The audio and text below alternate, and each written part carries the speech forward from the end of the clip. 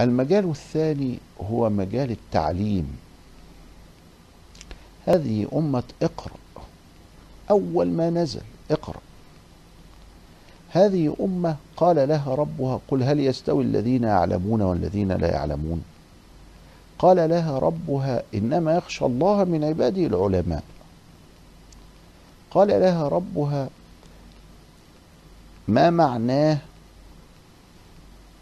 أن العلم من المحبرة مع المحبرة إلى المقبرة من المهد إلى اللحد. فيقول وفوق كل ذي علم عليم. واحد ذي علم يعني عالم عليم صيغة مبالغة. ومعنى هذا أن العلم لا يعرف الكلمة الأخيرة أن العلم لا ينتهي يعني لا يزال الإنسان يتعلم وتكون معه المحبرة يكتب بها إلى أن يصل إلى المقبرة وهو ما زال يعلم بعض الشيء وفوق كل ذي علم عليم معناها استمرار العلم. وقل رب زدني علما معنى هذا استمرار العلم. ومعنى هذا أن الإنسان كلما تعلم علما يوصل إلى الله سبحانه وتعالى في أي علم كان وهو المقام المستنير فإنه يتضاءل أمام نفسه لأنه كلما اتسعت مساحة معرفته فإنه يكتشف أن الباقي له أكبر بكبير بكثير جدا مما علم.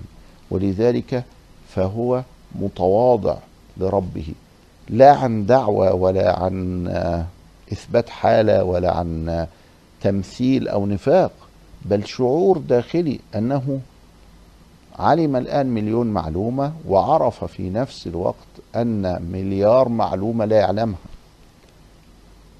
وإذا علم المليار عرف أن الناقص له عدد لا نهاية له ومن أجل ذلك هو يخبت لربه ويخشع ويتواضع تواضعا حقيقيا وليس لفظيا أو بلسانه فقط.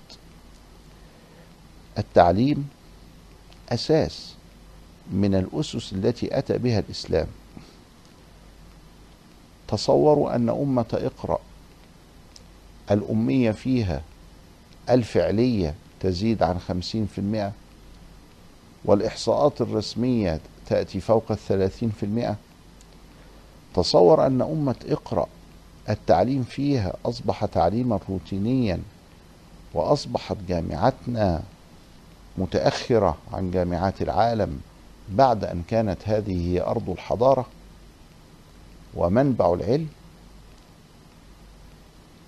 تصوروا أن مصر مثلا يعني فيها أزمة في هذا التعليم؟